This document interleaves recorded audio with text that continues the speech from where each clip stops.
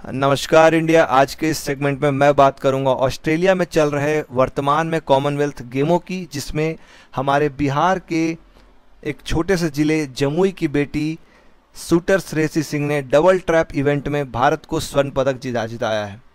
उन्होंने देश का नाम रोशन करने के लिए बड़ी मेहनत की और बड़े शिद्दत से इस प्रतियोगिता में उन्होंने प्रथम स्थान प्राप्त किया है।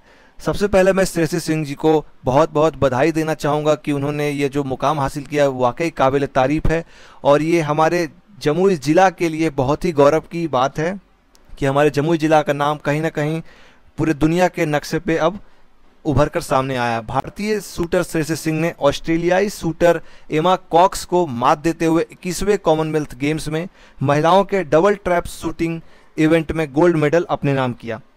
श्रेसी ने स्कॉटलैंड के ग्लासगो कॉमनवेल्थ गेम्स 2014 में भी सिल्वर मेडल जीता था।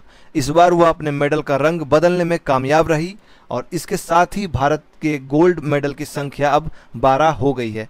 शूटिंग में यह भारत का चौथा गोल्ड मेडल है।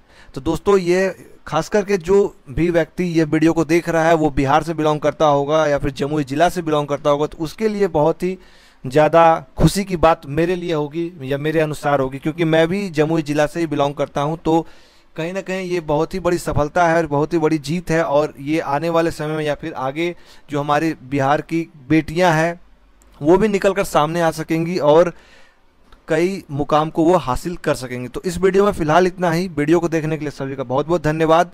जय हिंद, जय भारत, जय किसान।